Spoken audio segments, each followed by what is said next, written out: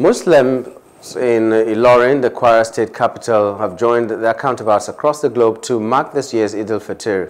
They have been urged to sustain the lessons of Ramadan through peaceful coexistence and humility. The chief imam of Ilorin, Mohammed Bashir, in his sermon in Arabic language and other speakers gave this charge shortly after the two rakat prayers at the Ilorin Eid praying ground amidst heavy security presence. They called on the faithful to also support the government at all levels to succeed. Spirit of uh, Ramadan is something we should carry through for the rest of the year because our country needs to heal and our country needs to uh, come out of this difficult period.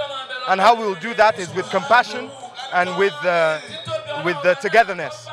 So uh, I, I, I would employ all Muslims that at this end of Ramadan to continue that spirit of uh, compassion and carry it through throughout the rest of this year, inshallah. A lesson or a preaching uh, from Prophet Muhammad trying to show us all that either you are rich, poor, or powerful. That when it comes to hunger, he does not know the difference. So what I would say in this note, in a nutshell, is that we should continue to believe in one another. Fasting is actually teaching us a lesson that we are one, irrespective of whom or who you think you are.